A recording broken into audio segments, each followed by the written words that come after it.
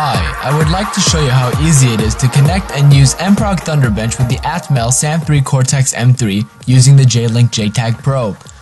Here we have the JTAG debug port using 20-pin header connected to J-Link. The reset button. One user USB port. Power LED. Two user push buttons.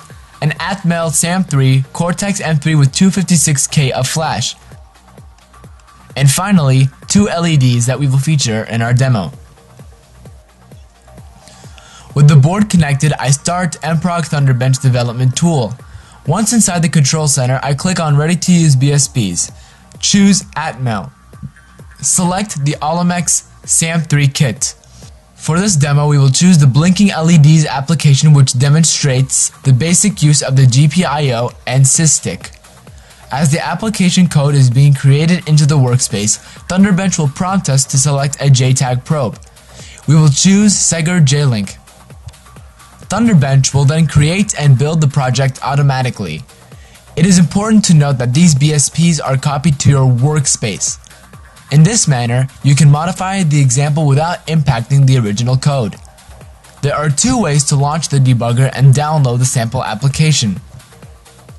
One way is that you can double click on the J-Link debugger launch shortcut within the project directory, or simply click on the debug button on the toolbar.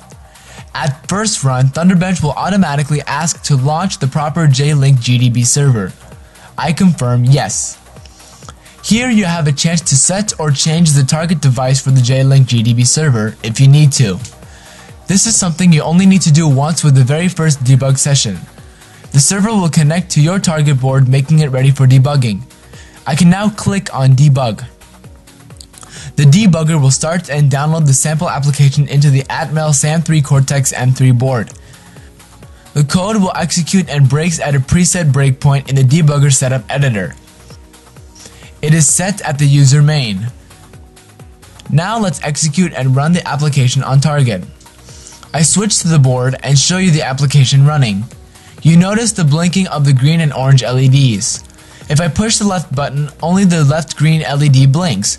Push again, both LEDs go back to demo mode. If I push the right button, the right LED blinks. Push again and it goes back to demo mode.